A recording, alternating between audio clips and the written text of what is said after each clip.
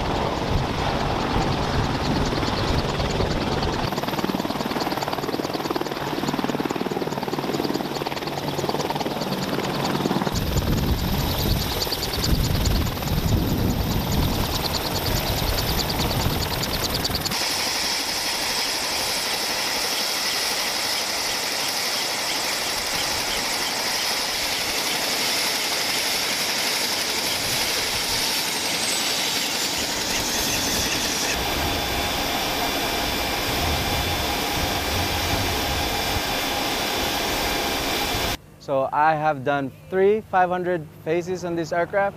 We take out everything from front to tail, uh, from, from rotor head, from weapons, and everything, and then inspect it and put it all back in.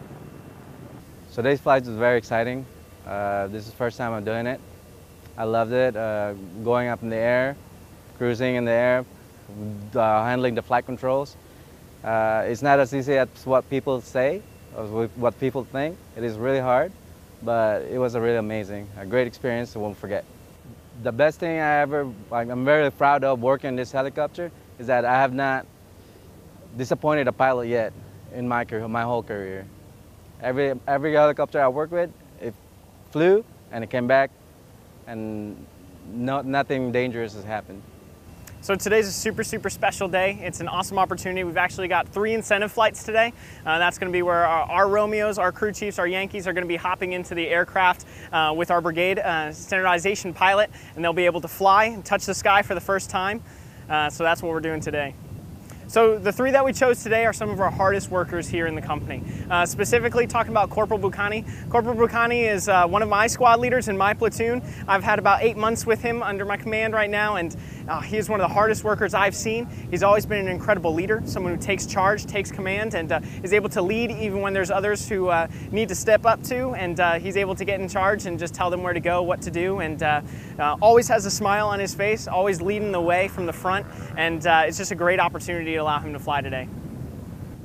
So the maintainers that are on this aircraft, they work day and night. So we actually have a day shift and a night shift, and we're the only people here in Illesheim with a night shift that works almost through the night working on these aircraft.